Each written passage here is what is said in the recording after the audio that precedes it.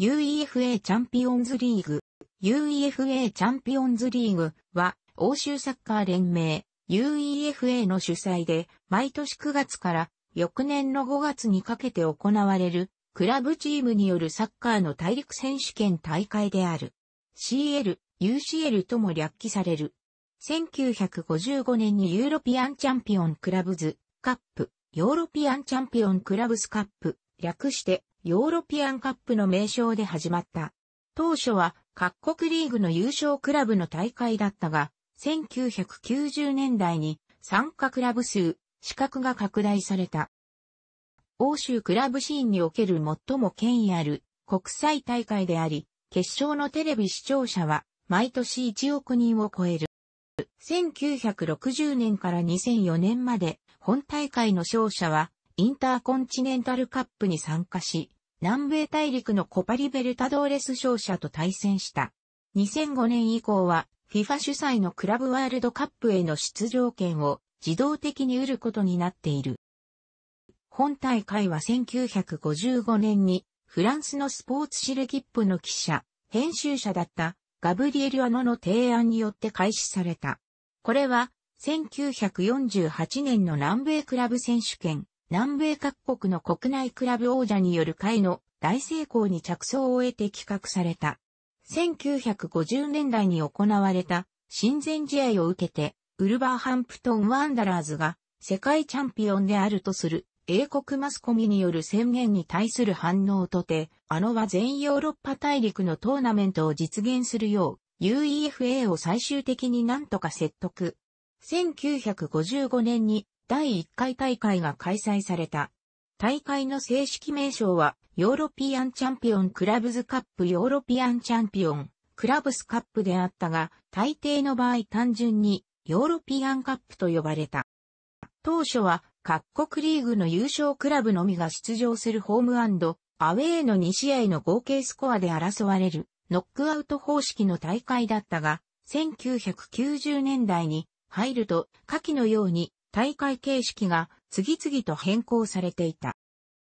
UEFA に加盟する各国地域内での全年度リーグ戦の上位クラブが参加できる。国別の出場枠及びどのレベルから参加できるかは UEFA ランキングのカントリーランキングで決まる。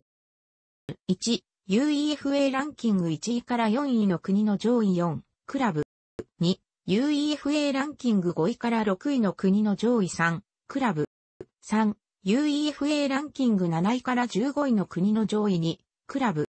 4、UEFA ランキング16位以下の国の1位クラブ。5、前年度 UEFA チャンピオンズリーグ優勝クラブ。6、前年度 UEFA ヨーロッパリーグ優勝クラブ。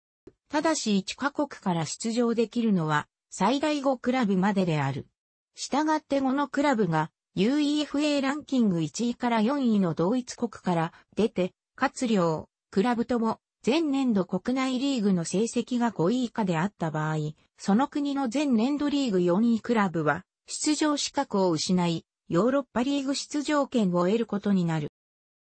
前年度 CL 優勝クラブの国内リーグ成績が本大会出場権獲得圏内の場合、UEFA ランキング11位の国の優勝クラブが予選を免除され、本大会の出場権を得る。前年度 L 優勝クラブの国内リーグ成績が本大会出場権獲得圏内の場合、UEFA ランキング5位の国の3位クラブが予選を免除され、本大会の出場権を得る。予選は優勝チーム予選と上位チーム予選の2つのルートで行われる。一次予選以降は1対1のホームアウェー方式で行われる。組み合わせ抽選は、シーズン開幕時に確定したクラブランキングに行って、シード分けした上で行われる。ランキング11位の国の優勝クラブが予選免除になった場合や、CLL 前年度優勝クラブがランキング11位以下の国の優勝クラブだった場合などは枠組みが変動する。CLL 前年度優勝クラブの国内リーグ成績が上記に該当する順位だった場合や、ランキング5位の国の3位クラブが予選免除される場合などは枠組みが変動する。グループリーグは32クラブを4クラブ8グループに分ける。ホームアウェー方式の2階層あたりで争い、各組2位までの16チームが決勝トーナメントに進む。また、グループリーグ3位のチームは L の決勝トーナメントに回る。そのうちの上位4チームは L グループリーグの首位とともに決勝トーナメント1回戦でシードされる。勝ち点が同じチームが出た場合の順位の付け方は以下の順に順位が付けられる。決勝トーナメントは16クラブによるホームアウェー方式によるトーナメントで2試合の通算得点が同じ場合はアウェーゴールの多い方が勝者となる。それでも勝者が決まらない場合は2試合目の試合後に前後半15部の延長戦を行う。延長戦後、得点数が同数であった場合にもアウェーゴールが適用され、アウェークラブが次のラウンドに進出する。延長戦で両軍とも無得点の場合は、PK 戦で勝者を決定する。準々決勝以降は再度組み合わせ抽選を決勝戦開催地2009から10シーズン以降はスイスのニオンにて実施、そこで前年優勝クラブから優勝カップを返還する。決勝戦は事前に UEFA により決定された試合地での1試合決着とし、90分で決しない場合は延長戦を行い、さらに決しない場合は PK 戦となる。開催日はおおむね火曜日、水曜日。決勝戦は5月の最終水曜になることが多かったが、2009から10シーズンから土曜開催になった。グループリーグではまず32クラブを8チームずつ4つのポットに分ける。毎シーズン優勝チーム及び UEFA、カントリーランキングの上位7カ国の優勝チームを、ポット1に、残りの24チームを UEFA クラブ係数に基づいて、ポット2から4に振り分ける。なお、毎シーズン優勝チームが上位7カ国の優勝チームである場合は、カントリーランキング8位の優勝チームが、ポット1入る。ポット1から1クラブずつ選び8クラブが AH の8つのグループのうち必ずどれかに入る。その際に同国のクラブが同じグループに入らないように考慮されるカントリープロテクション。特例出場の場合は考慮されない。2005から06の大会では特例で出場したリバプールは同じイングランドのチェルシーと同組になっている。また、グループ AD を赤色、EH を青色とし、同じ国から2クラブ出場する場合は、ペア、3クラブ出場する場合は2クラブがペア、4クラブ出場する場合は2組のペアとし、ペア同士が同じ色のグループに入らないように抽選する。例えば同じ国からクラブ Y とクラブ Z が出場する場合、Y がグループ AD のどれかに入れば Z は自動的にグループ EH のどれかに入ることにな。これは一節ごとに片方の色のグループから試合をしたら、翌日にはもう片方の色のグループの試合を行い、同国クラブの戦う曜日に原則国内のホームゲームは1クラブにするために行われる。他にも2015から16シーズン以降、ウクライナ情勢により、ウクライナとロシアのクラブが同じグループに入らないように考慮されている。また、抽選後にコンピュータによりグループ内での序列を計算し、同国チームのホームとアウェーが被らないように調整する。序列1はアホア、序列2はホとなり H&A がタイになっている。序列3はアホホ、序列4はホハである。同じ色のグループに同じ国から2クラブ出場の場合は1と2とのタイ、もしくは3と4とのタイになるように調整し、同じ国内で同じ曜日にホームゲームが行われることはなくなる。ただし例外として2006から07シーズンにロシアからチェスカ・モスクワとスパルタク・モスクワの2クラブが出場した。ロシアは気温が低いのでグループリーグの最終戦が行われる12月にホームゲームを避けるために両クラブとも最終戦をアウェーで戦った。このためホームとアウェーを別々に行えたのはグループリーグ全6節中2節だけになった。なお、同じく気温が低くにクラブ出場の可能性がある。ノルウェーのクラブが2クラブ出場する場合も、同様の措置を取ることになっている。2005から06シーズンに納税があった。決勝トーナメント1回戦では、グループリーグ1位のクラブと2位のクラブが当たるように抽選する。その際もカントリープロテクションとして、同国のクラブ同士に加え同一グループリーグのクラブと対戦しないように考慮される。抽選は、グループリーグ2位の8クラブの玉を入れた、ポット、1位のクラブについてそれぞれ複数の玉を入れた8つのポット、そして1位のクラブを抽選するための空のポットの計10ポットを用意して行われる。まず2位のチームのポットから1チームを選び、前述の条件により対戦可能なクラブの玉を空のポットに入れて中することで、組み合わせが決まる。この作業を8カード決まるまで繰り返す。1回戦が終わると準々決勝の抽選が行われる。ポットは勝ち残った8クラブの玉の入れた1つのみ。1つずつ引いて2チームが選ばれたら1カードが決まり、4カードすべて決まるまで抽選を行う。準々決勝以降は、カントリープロテクションもシード分けも考慮されない。したがって、同国クラブ同士の対戦と、同一、グループリーグのクラブとの再戦の可能性がなる。準決勝の抽選は勝ち残った4クラブの玉の入ったポットと試合順を決めるポットの2つあり、まず準々決勝の時と同様に2チーム選ばれたら、1カードが決まり、残りの2チームも自動的に決まるも、最後まで抽選を行う。その後最初に決まった対戦カードからの正式な試合順を決める抽選を行い1カードは先に2、カードは後から試合を行う。なお、従来は準々決勝は最後の抽選で準決勝以降の組み合わせも決めていたが、2012から13シーズンより準決勝も抽選を行うようになった。各クラブは事前に選手の A リストと B リストを提出。A リストは25名までで以下の制限がある。B リストには試合前日の24時、中央ヨーロッパ時間までに申請すれば登録資格のある選手を無制限に登録できる。B リストへの登録資格はシーズン開幕21年前の年の1月1日以降に生まれたてで15歳の誕生日以降、継続して2年以上当該クラブに所属歴がある選手とする。16歳の選手の場合は2年以上継続して在籍していれば登録可能とする。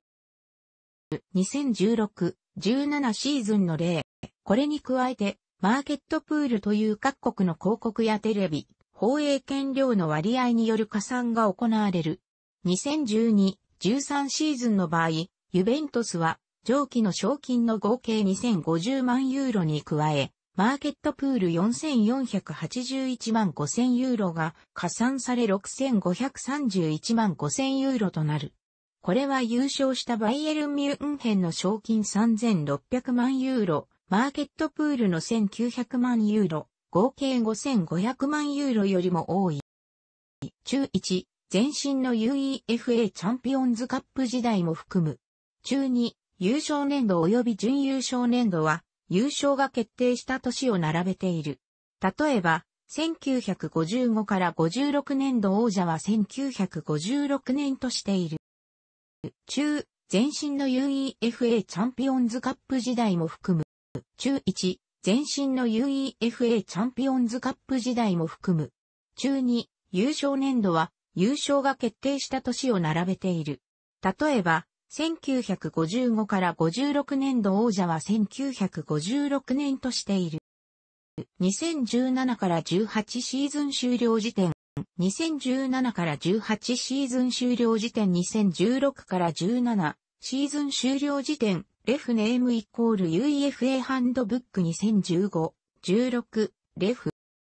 監督として3度の優勝経験があるのはボブ・ペーズリーとカルロ・アンチェロッティとジネディーヌ・ジダンの3名のみで、2度の優勝経験がある監督は16名いる。複数クラブでの優勝経験がある監督は、カルロ・アンチェロッティ、レアル・マドリードと AC ミラン、エルンスト・ハッペル、フェーノールトとハンブルガー SV、オットマー・ヒッツフェルト、ボルシア・ドルトムントとバイエルン・ミュンヘン、ジョゼ・モーリーニョ、FC ポルトとインテル・ミラノ、ユップ・ハインケス、レアル・マドリードとバイルン・ミュンヘンの5名。選手、監督両方での優勝経験があるのは、ミゲル・ムニョス、ジョバンニ・トラパットーニ、ヨハン・クライフ、カルロ・アンチェロッティ、フランク・ライカールと、ジョゼップ・グアルディオラ、ジネディーヌ・ジダンの7名。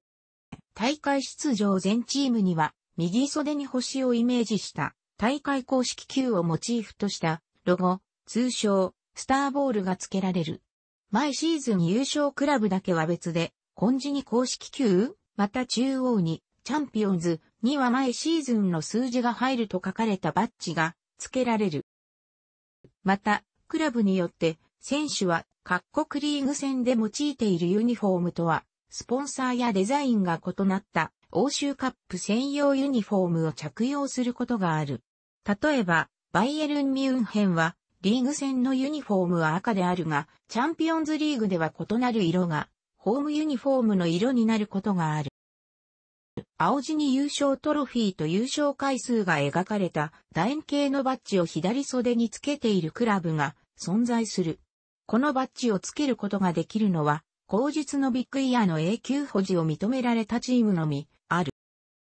2002から2003年大会以降は、アディダスのフィナーレが使用されている。公式ロゴのスターボール同様に表面に星をデザインした模様がプリントされ、その配色は大会ごとに変えられる。優勝カップはビッグイヤーと呼ばれる。優勝トロフィーの取っ手の形が大きく耳の形に似ていることからついたものである。現在のトロフィーは高さ73.5センチメートル、重さ8.5キログラムである。初代から数えて7代目であり、現在のデザインになってからは6代目である。2015年に制作された。それまでのトロフィーは小ぶりなものだったが1967年、5連覇を果たしたレアル・マドリードにオリジナルのトロフィーが渡されたのをきっかけに、当時の UEFA 事務局長、ハンス・バンゲルターがデインを一新することを決めた。現在のデザインは、ベルンの鋳物職人、ユルグシュタデルマンが本体の鋳物作業を行い、彫刻家のフレッド・ベニンガーが仕上げを施して完成させた。制作には340時間かかった。